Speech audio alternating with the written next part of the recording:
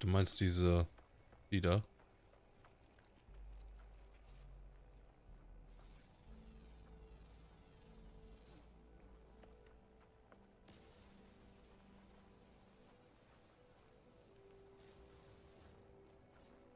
Oh.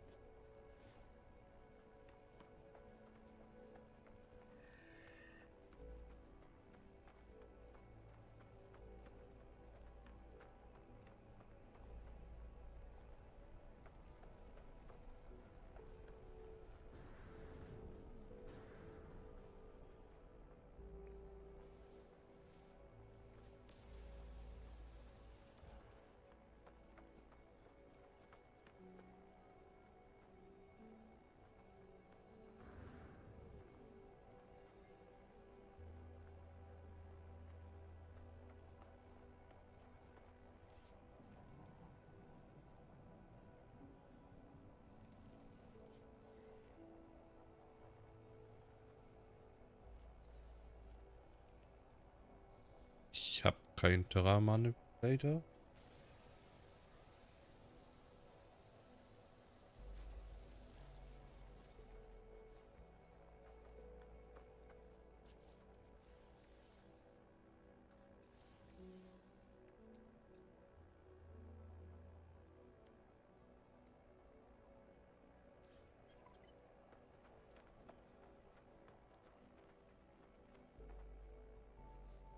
Muss ich den nicht, ähm...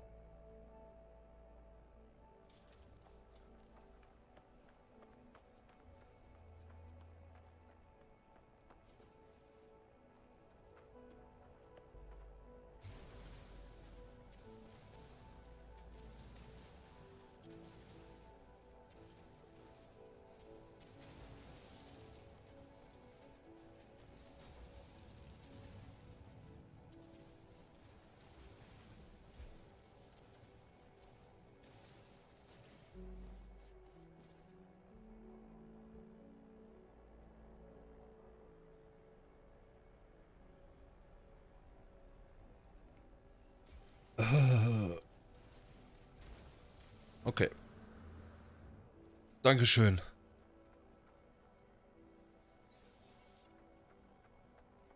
Uh.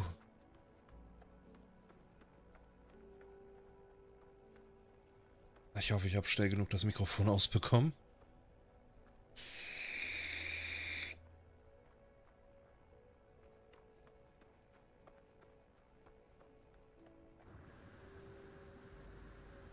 Ja, sauber. Ich glaube, sonst hättest du kein Trommelfell mehr.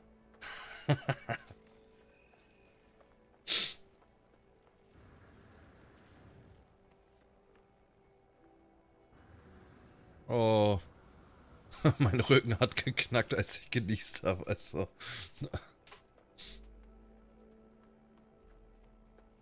Und der Stuhl auch. Also das war dann doch ein wenig.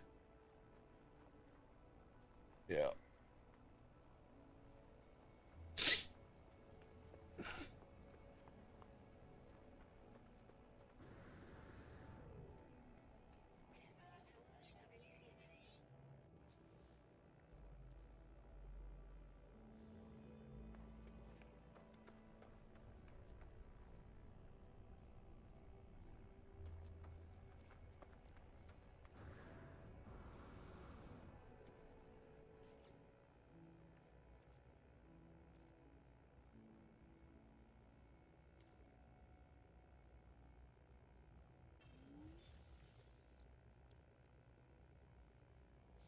22.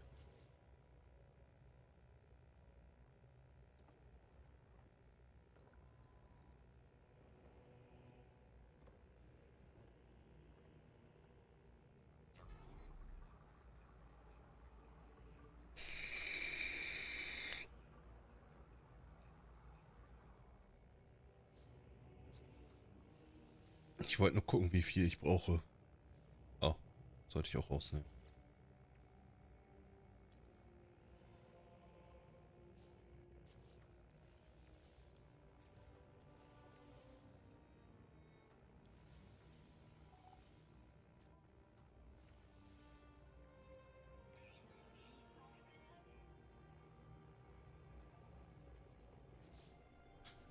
Es denn hier noch für Expeditionsziele?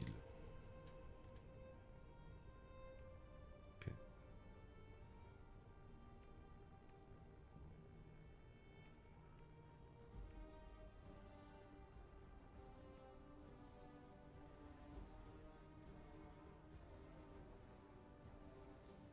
Oh ja, gute Idee. Die hätte ich jetzt liegen lassen. Wahrscheinlich.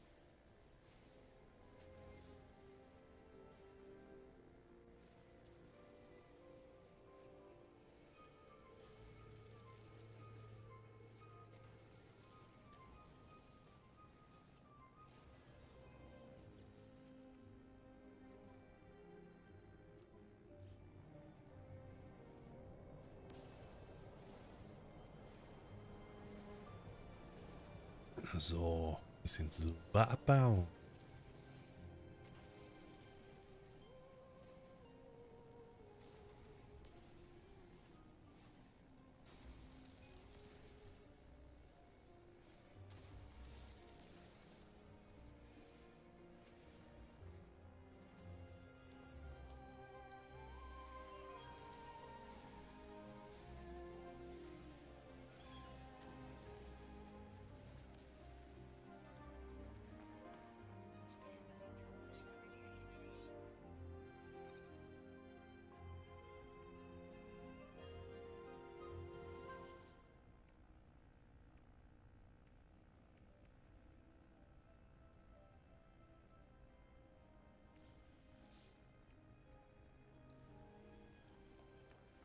So, wollen wir noch eben irgendwie Natrium suchen?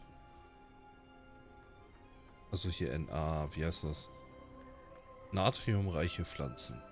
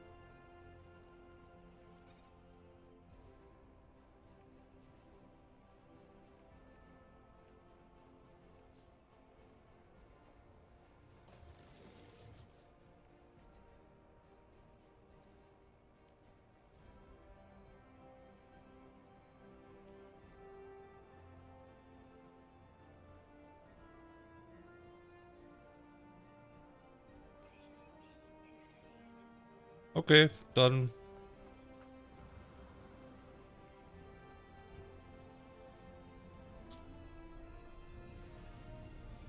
machen wir jetzt hier weiter.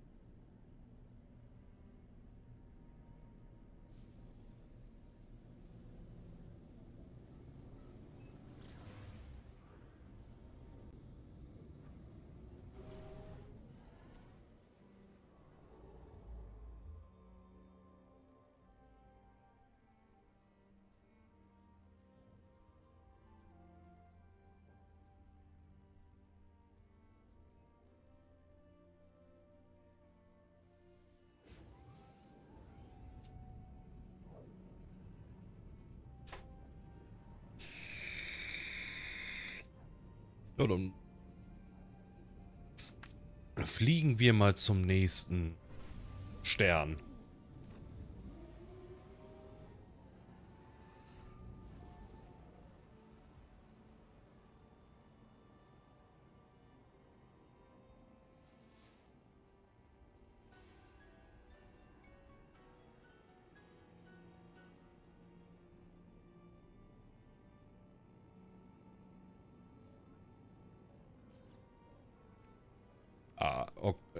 Den hier habe ich nicht gesehen.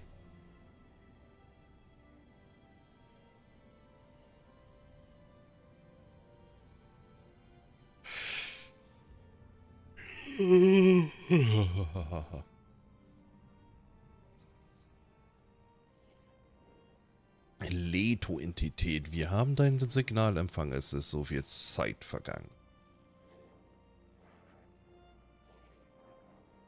Zeit für die Wahrheit. Du verfügst über das Signal, aber du bist nicht die Leto-Entität.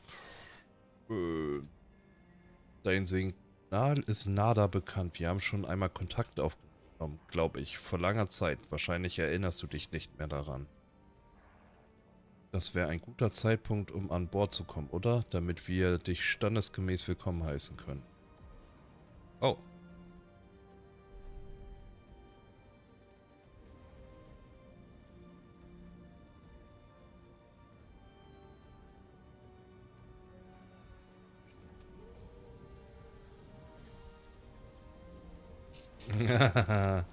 Oder der ist schon seit ewig und drei Tage in diesem Spiel drin.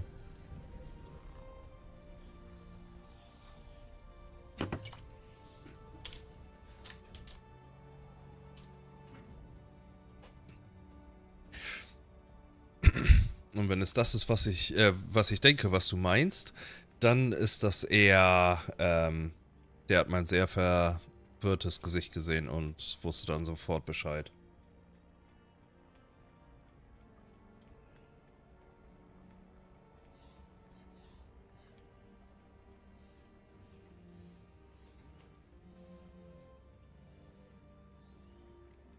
Hallo, Nada.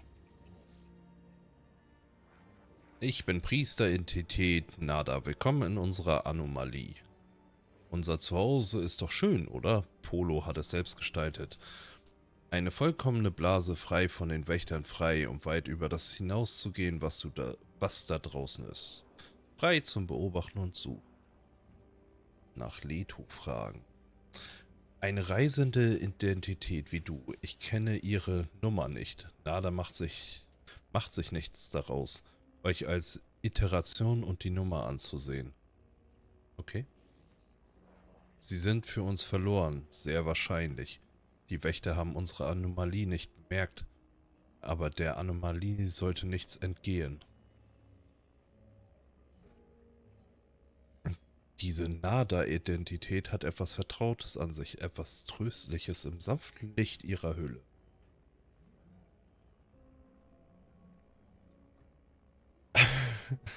Den finde ich gut. er hat meine Saves gescannt, zehn Jahre alt, wenn nicht sogar noch älter und das letzte Mal vor drei Jahren gespielt. Ja. Nada war ein Auge unter vielen, aber ich erwachte mit dem Tod meiner Heimat, dem Tod von Korvax Primus. Ich, wunder, ich wurde andersartig allein gejagt. Doch Nada ist nun nicht mehr allein. Nada hat Polo-Freund. Und viele andere besuchen unser Heim. Unsere Konvergenz ist klein, aber Nada ist glücklich. Nada spricht und beobachtet mich dabei, um, eine Rea um meine Reaktion zu analysieren. Die Entität sieht mich an, als würde sie mich schon immer kennen.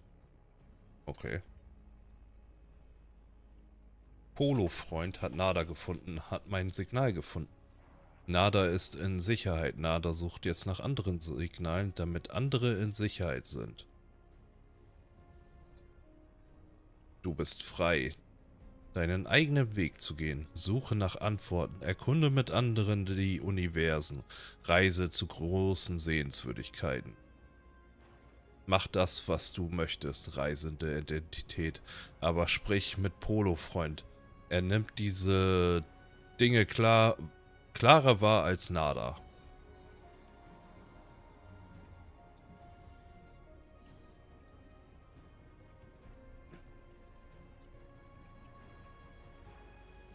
Spezialist Polo. Aber wir haben irgendwas wieder freigeschaltet bekommen. Ah. Ärzte Anomalie.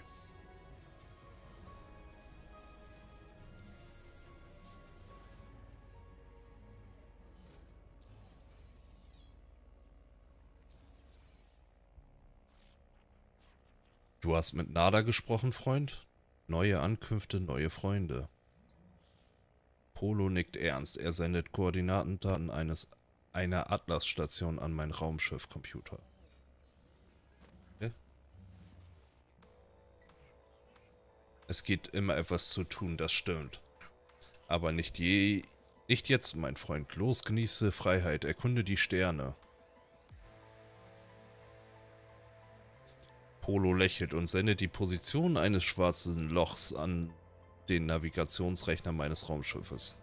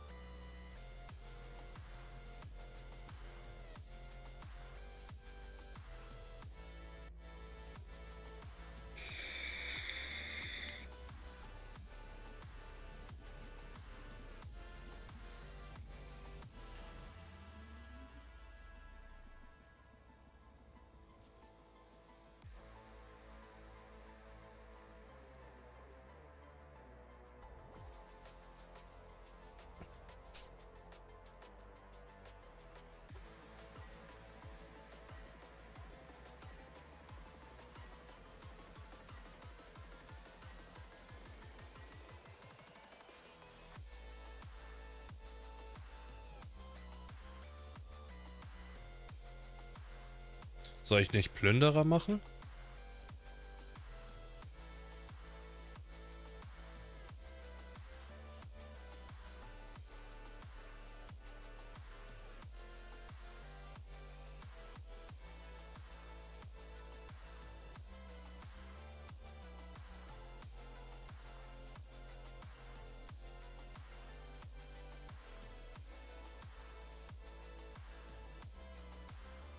Okay, gut. Ja, ich hatte gerade umgeschaltet, weil ich ja auf äh, Schwarze Loch war. So. Steckt das der Raumschifftechnologie reparieren. Also Sauerstoff und verdichteter Kohlenstoff.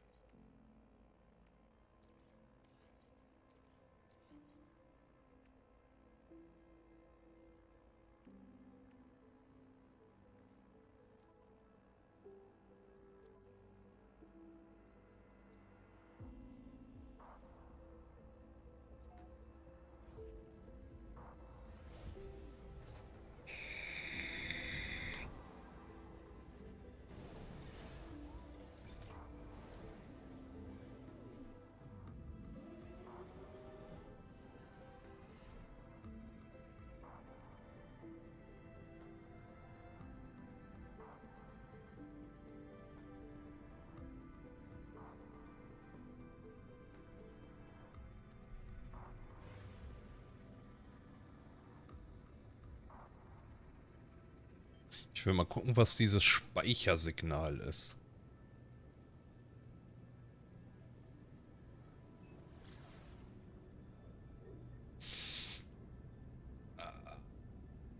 Aber wie kann man das gut erklären? Also ich habe auch eine, einen ganzen Haufen äh, Starfield gespielt und ich muss sagen, ähm, oh, äh, No Man's Sky macht das besser. Nach wie vor, obwohl das schon über 10 Jahre alt ist, das Spiel. Also, No Man, äh, hier Starfield kommt da nicht ran. Das ist echt komisch seltsam.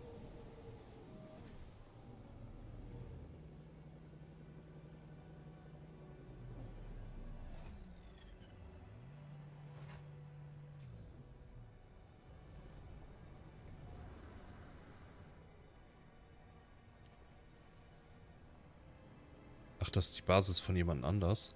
Nee. Doch.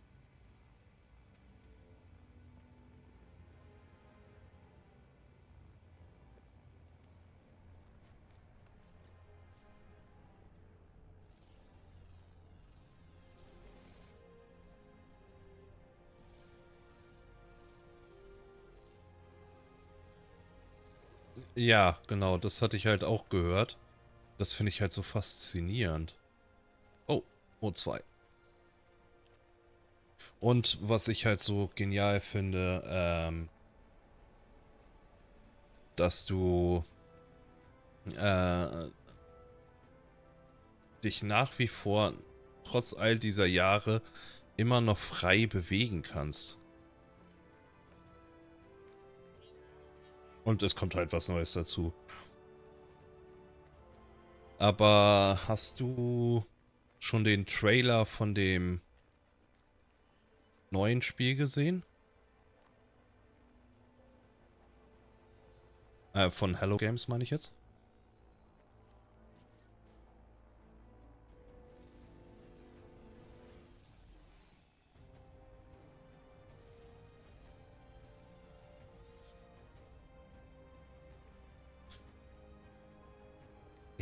Glaube, das wird auch noch mal geil.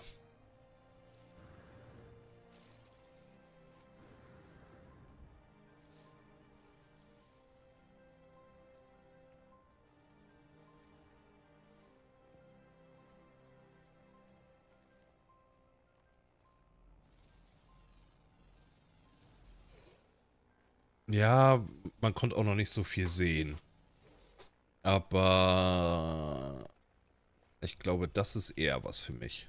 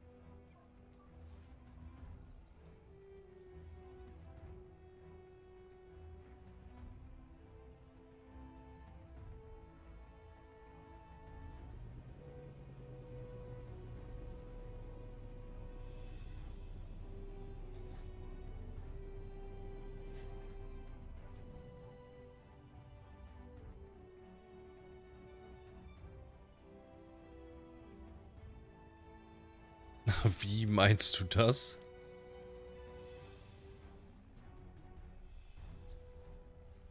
Oder meinst du wegen ähm, äh, deinen Raumschiffen und so weiter? Ja. Also ich, ich finde das ja schon geil, muss ich ja sagen, ne? Ähm, aber ich denke halt, Mittelalter ist doch ein bisschen mehr was für mich. Keine Ahnung, wie ich das beschreiben soll.